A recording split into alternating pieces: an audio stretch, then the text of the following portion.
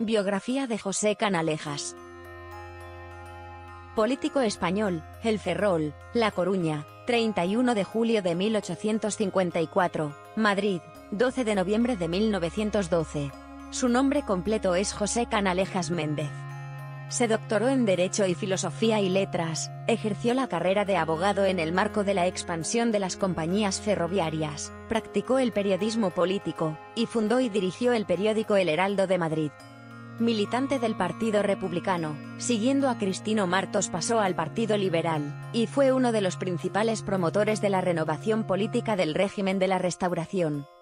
En 1881 fue elegido diputado por primera vez, y en los años siguientes ocupó la subsecretaría de la presidencia en el gobierno de Posada Herrera y fue ministro de Fomento, de Gracia y Justicia, de Hacienda y de Agricultura en los sucesivos gobiernos liberales. En el bienio 1905-1906 presidió el Congreso de los Diputados, y en 1910 fue elegido presidente del gobierno en sustitución del también liberal Segismundo Morez. Desde este cargo impulsó la modernización del país con medidas como la supresión del impopular impuesto de consumos, la reforma del servicio militar, que pasó a ser obligatorio, la regulación de la jornada máxima de trabajo, y la protección social del trabajo de las mujeres y de los jóvenes.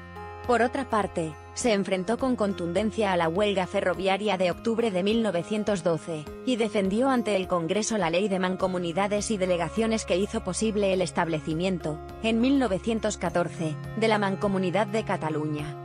Defendió una política de marcado anticlericalismo que le enfrentó a los sectores conservadores, y provocó finalmente la ruptura de relaciones con la Santa Sede.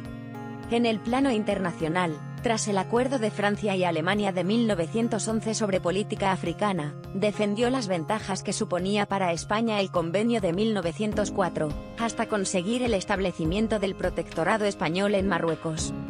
Fue asesinado en el ejercicio de la presidencia por el anarquista Manuel Pardiñas, mientras paseaba por las calles de Madrid.